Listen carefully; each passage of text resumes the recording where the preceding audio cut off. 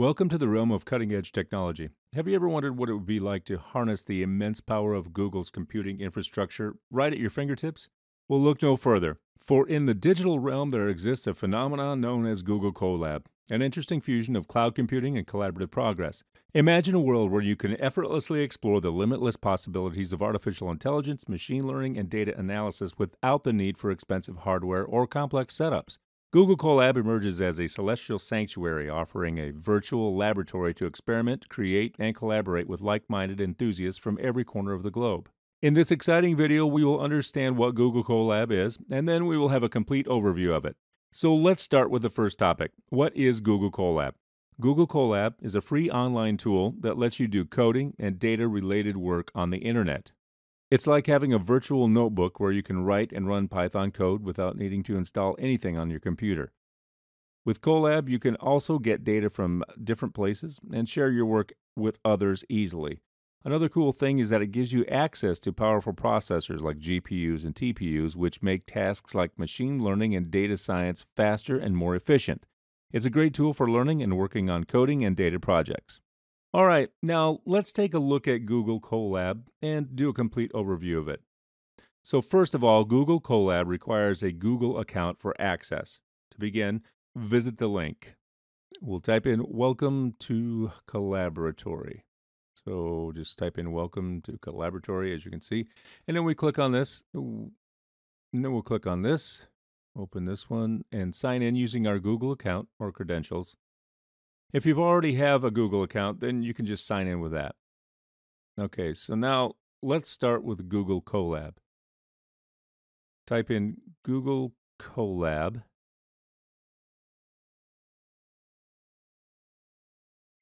Click on this. All right, so this is the window that appears when you click on that. First of all, here we have the example tab. So the example tab offers some initial examples to help you begin using Colab.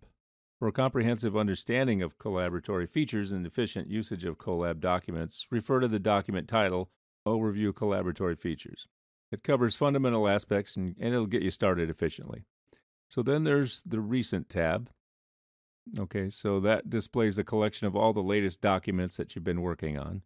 Now, next is our Google Drive tab. The Google Drive tab feature allows you to import any of your previous notebooks directly from your Google Drive. Okay, then next is GitHub tab. So with the GitHub tab, you have the option to import notebooks from your own GitHub repository or any public repository. Simply provide the GitHub URL and you can easily import notebooks from the desired public repository. Then we have the uh, Upload tab. So the upload feature allows you to bring in and work on your own Jupyter notebooks that you've created on your computer. You can easily upload any file from your local machine by selecting the Choose File option. So here it is, Choose File option. Next is our Create a Notebook. And as you can see, there's a notebook option, there's a cancel option. So to create a notebook, uh, so to create a new notebook, you have the option to use the New Notebook button located at the bottom. By clicking on this button, a new untitled notebook will be generated. To give it a specific name, we simply click on the current type and title name. So I want to name it. So as we've clicked on, yeah, to give it a specific name, as we just said, simply click on the current type and title name on the notebook and make the desired changes. So let's say we want to make it SP1. Let's just type the name. All right. So next is our cell. Here we can see this is a cell. So in a notebook, cells serve as the fundamental building blocks encompassing everything uh, within. There are two types of cells actually. One is code cell, as you can see, and it contains executable code and has a run button on the left side to execute its content. This one. All right, the output is displayed. Its output is displayed below the code cell after running. The next type of cell then is a text cell. So a text cell can include uh, text, images, links, and more. And you can edit its content by double clicking it. The text cell uh, supports Markdown markup language, but you can also use the provided options at the top for formatting. The right half of the cell shows how your edited text will appear. All right. Next, let's take a look at how to add a new cell. To add a new code or text cell, use the respective option at the top of the work area, as you can see here, code or text. By clicking on this, we can add code or text cells. So clicking on any of these buttons creates a, a new cell right below the current one. So let's say we want to add this. And now we want to add this and maybe another.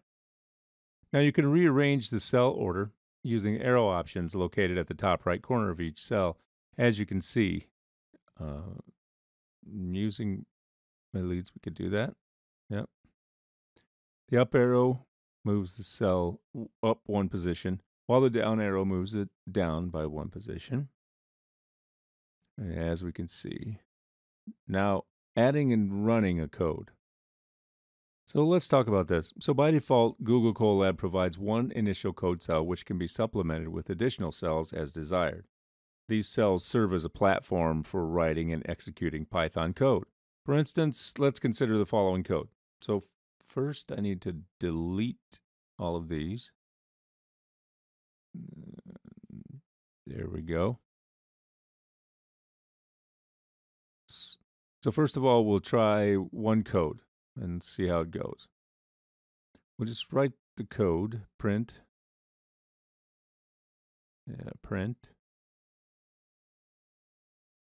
My favorite color is yellow. All right. Now let's try to execute it. We can run this by clicking on this. Now it's running executing. So as you can see, my favorite color is yellow is being printed. So you can either press on this play button to run the code, or you can press Control plus Enter to run the code. As you can see, Control plus Enter to run the cell. Now next is changing the order of the cell.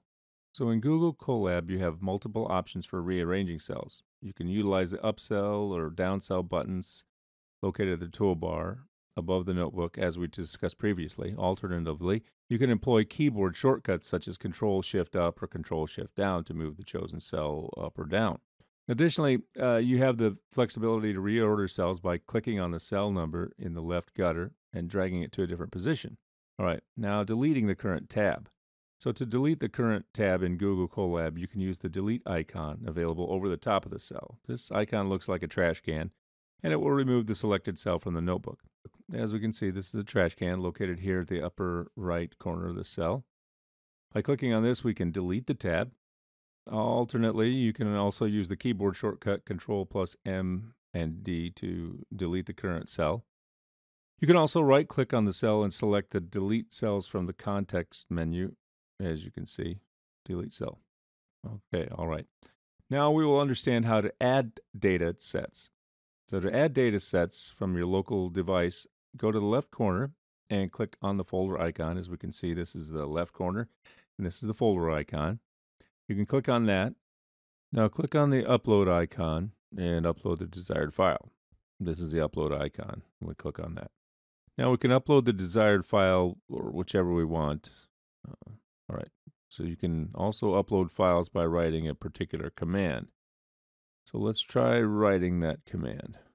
So we'll write from Google dot colab import file and files. And after that, we'll write upload equals files dot upload and then we'll put brackets we'll press control and enter and here we can see choose files. Now from here you can choose files so you can upload files both ways. Now let's look at how to import libraries in Google Colab. So first of all, you have to cancel. We'll click on this. So to import it, we'll write import pandas as PD. After that, pd dot read. So here we're importing the CSV files actually. So we have to write pd dot read underscore CSV. And inside this, we'll write a file. Let's say we have to check whatever files, like this is a sample data files, right? So you have to write the file name, which you want to import, a CSV file name. I'm writing sample underscore data. All right, underscore test. Location, you have to put .csv. So this is the location. And if you want to display 10 rows, we'll write df.head and then 10. We'll press control and enter. And we can see 10 rows are being displayed. So this is how you can import and like showcase the data. So this was a little about Google Colab. We covered a few major points, but you will see as you explore and start using it on your own that there is so much more there. So after learning a little bit about Google Colab and hearing about various cloud technologies, if you want to become a cloud engineer, check out our postgraduate program in cloud computing. Our comprehensive course covers Microsoft Azure, AWS, GCP, empowering you to employ dynamic and independable applications seamlessly. To discover intricacies of these leading cloud platforms and master core skill sets needed for success. Join us to transform your career and step confidently into the world of cloud computing. Enroll now and embark on an exciting journey towards a bright future in the cloud industry. Don't miss this opportunity. All right, with that, we've come to the end of this video. If you like this video, please give it a thumbs up. I hope it really helped you all. Thanks for watching. Stay safe and keep learning. Staying ahead in your career requires continuous learning and upskilling. Whether you're a student aiming to learn today's top skills or a working professional looking to advance your career, we've got you covered. Explore our impressive catalog of certification programs in cutting edge domains, including data science, cloud computing, cybersecurity, AI, machine learning, or digital or programs, and set yourself on the path to career success. Click the link in the description to know more.